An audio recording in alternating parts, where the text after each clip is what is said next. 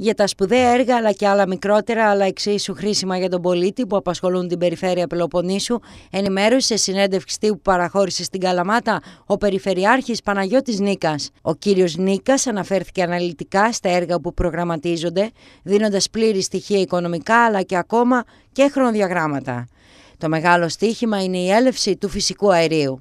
Δεν διανοούμε η ΔΕΔΑ, δηλαδή η κρατική εταιρεία, να κάνει τον προγραμματισμό και τα έργα για τη Δυτική Ελλάδα, για την Ήπειρο και στην Πελοπόννησο που περνάει ο αγωγός του φυσικού αερίου και φτάνει μέχρι τη Μεγαλόπολη να φέρνουμε συμπιεσμένο αέριο από τη Ρεβιθούσα και με ποιο τιμολόγιο και με ποιο πρόγραμμα.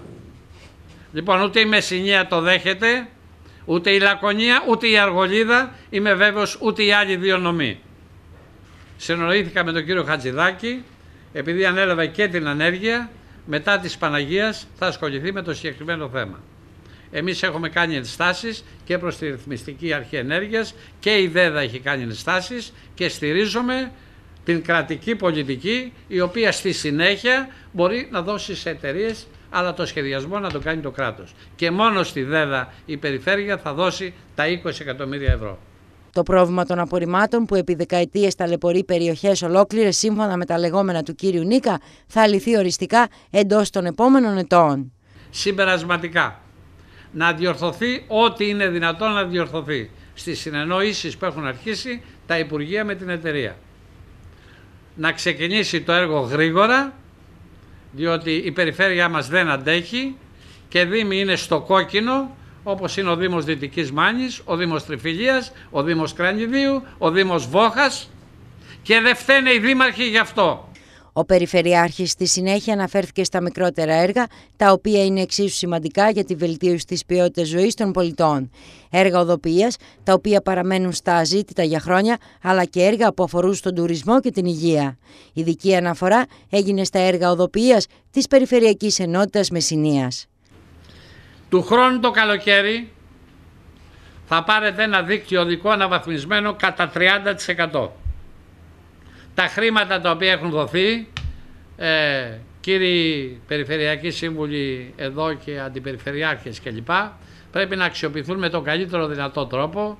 Είμαστε η Περιφερειακή Ενότητα, η Μεσσηνία, με το χειρότερο οδικό δίκτυο σε επίπεδο περιφερειακών ενότητων.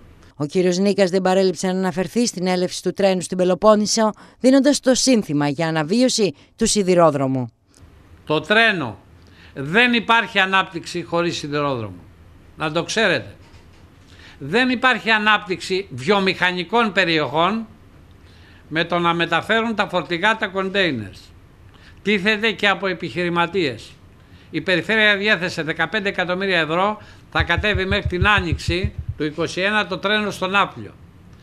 Και συμμετέχουμε στη χρηματοδότηση της μελέτης, το πρότεινα στον ε, αναπληρωτή διευθύνοντα του ΟΣΕ, όσον αφορά την ανακατασκευή της γραμμής από το Άργος μέχρι την Καλαμάτα. Το τρένο πρέπει να ξανασφυρίξει. Το έφτιαξε ο Τρικούπης πριν από 120 χρόνια περίπου, με τις δυνατότητες της εποχής εκείνης. Δεν μπορούμε να μιλάμε για πράσινη ανάπτυξη, για περιβάλλον, για εξοικονόμηση καυσίμων χωρίς τρένο. Τέλος, ο Περιφερειάρχης αναφέρθηκε και στον κορονοϊό και την προσοχή που πρέπει να επιδείξουμε όλοι, ξεκαθαρίζοντας ότι η Περιφέρεια δεν θα χρηματοδοτήσει καμία εκδήλωση για το επόμενο διάστημα.